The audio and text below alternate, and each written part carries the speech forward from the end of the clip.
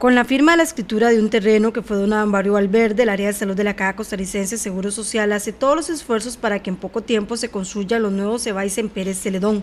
El descongestionar el Hospital Escalante Pradilla es una necesidad y para ello se tiene que contar con más Cebais para la atención primaria de quienes viven en el distrito de San Isidro del General. Sí, en realidad eso es una buena noticia porque eh, lo que más le cuesta a la institución es conseguir terreno tenemos un terreno que ya fue, ya se firmó el traspaso. En este momento están en el proceso de, presentar la escritura. Eh, es un terreno amplio que queda en Barrio Valverde, este, contigua ahí a, a Tierra Prometida.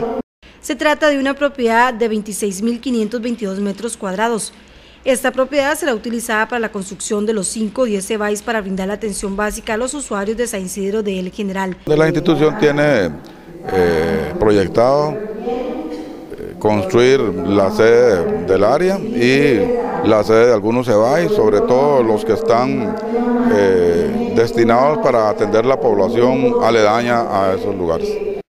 Ya esta iniciativa está incluida dentro del portafolio de proyectos de la institución. Es meterlo en el portafolio de proyectos que tengo entendido que ya está metido y que está en primer lugar.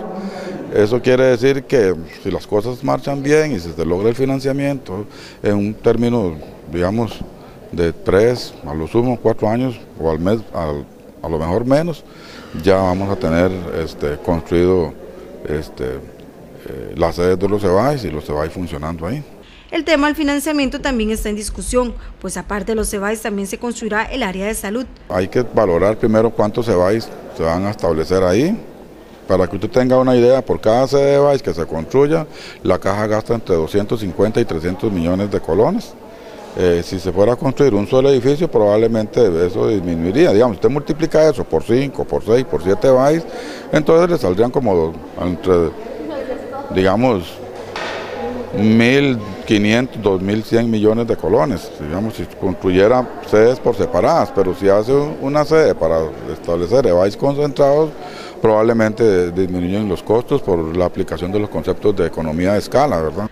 Por años se luchó por contar con el terreno, ahora que lo tienen esperan que pronto el proyecto se concrete.